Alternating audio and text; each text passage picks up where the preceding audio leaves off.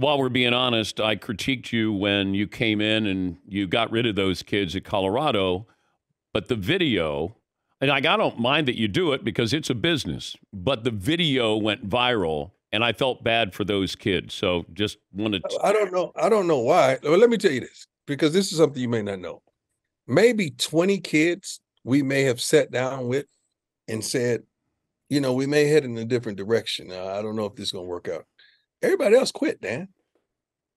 They quit. Like I can't be, you can't hold me responsible. And some guys you attributed to us, they weren't even on the roster. I remember one kid made a big deal out of uh he couldn't get his film. We wasn't here. For the walk-on tape that you wanted, we weren't even here. We weren't even a part of the program. Like, why would they quit your program?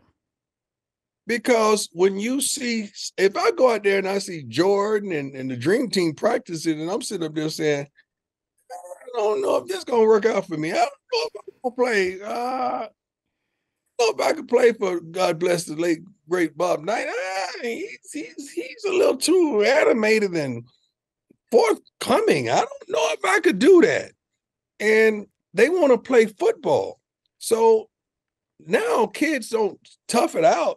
They shut it down. That's why we created the portal, isn't it? So they could get another option to go and do what they really want to do and play like they desire to play. So that happened. We had kids when we had the during spring game. Everybody but three defensive linemen quit that week of, like it was going to hurt us. And we're like, so I mean that that's truly what happened. So we got accredited for a lot of kids that we shouldn't have got accredited for.